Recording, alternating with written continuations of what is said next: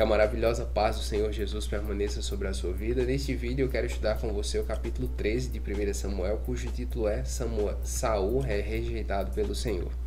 Em 1 Samuel capítulo 13 fica claro que aqueles que desejavam um rei, como tinham as outras nações, imaginavam que quando tivessem um, pareceriam muito poderosos e consideráveis. Mas neste capítulo lemos uma história bem diferente. Enquanto Samuel e Saul participavam de uma mesma comissão, as coisas iam bem. Mas agora que Saul começou a reinar sozinho, tudo começou a deteriorar e as palavras de Samuel começam a se cumprir: Perecereis assim vós como o vosso rei. Nunca o estado de Israel tinha sido tão devastado como neste capítulo. É, traçando um possível esboço desse capítulo, vemos o seguinte: do versículo 1 ao versículo 7, Saul em guerra contra os filisteus. Do versículo 8 ao 14, Saul é rejeitado pelo Senhor. Do versículo 15 ao 23, as limitações de Israel. E aqui eu quero destacar a rejeição de Saul. O versículo 8 diz: Ele esperou sete dias, o prazo estabelecido por Samuel, mas este não chegou a Gilgal, e os soldados de Saul começaram a se dispersar. Então Saul ordenou: Tragam-me o holocausto e os sacrifícios de comunhão. Então ofereceu Saul o holocausto. Quando terminou de oferecê-lo, Samuel chegou, e Saul foi saudá-lo. Perguntou-lhe Samuel: O que você fez? Saul respondeu: Quando vi que os soldados estavam se dispersando e que não tinha chegado no prazo estabelecido e que os filisteus estavam reunidos em Micmas, pensei: Agora os filisteus me atacarão em Gilgal e eu não busquei o Senhor. Por isso senti-me obrigado a oferecer holocausto. Disse Samuel: Você agiu como um tolo, desobedecendo ao mandamento que o Senhor, seu Deus, lhe deu. Se você tivesse obedecido, ele teria estabelecido para sempre o seu reinado sobre Israel. Mas agora o seu reinado não permanecerá. O Senhor procurou um homem segundo o seu coração e o designou líder de seu povo, pois você não obedeceu ao mandamento do Senhor.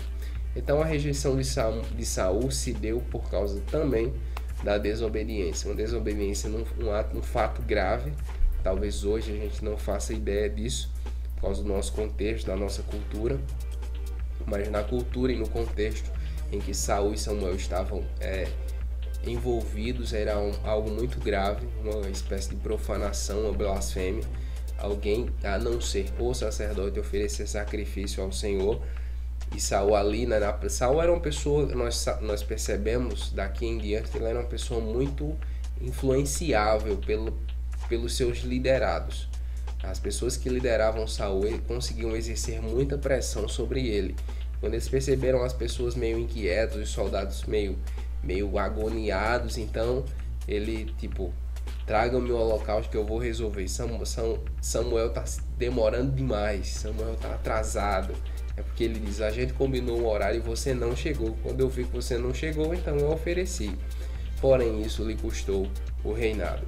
O Senhor Deus não tolerou a sua desobediência, e no versículo 14 está escrito: O Senhor procurou um homem segundo o seu coração e o designou o líder do seu povo.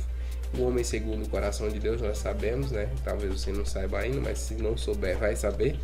É Davi. O Senhor aqui já tem Davi em mente, já escolheu Davi, um homem segundo o seu coração, para exercer o reinado do trono de Israel. O que fica de lição para nós? Nós não podemos considerar aquilo que é santo como profano. Nós não podemos querer exercer uma função que não é nossa no reino de Deus. Quando nós começamos a achar que podemos tudo no reino de Deus, nós corremos o risco de agir como Saul e nos tornar tão profanos quanto ele. Nós precisamos respeitar os limites estabelecidos por Deus e por sua palavra e nos acomodar a atuação do Espírito em nossa vida. Aonde ele nos levar, nós vamos. Se ele nos mandar ficar parado, nós ficamos. Se ele nos conduzir, nós vamos. Ok? Então, cada um no seu quadrado, cada um no seu lugar. Porque dessa forma a obra de Deus prospera na nossa vida e em, na vida das pessoas que estão ao nosso redor. Veja que a atitude de Saul não refletiu negativamente só sobre a vida dele, mas sobre todo o povo. Por quê? Porque ele era o líder deles. Então, muita calma, ok? Nos mantenhamos na presença do Senhor, seguindo a sua direção e a direção do seu espírito. Se gostou do vídeo, deixe o seu like. Se não se inscreveu ainda, inscreva-se. Clique no sininho para ativar as notificações e assista aos outros vídeos. Deus abençoe e até a próxima.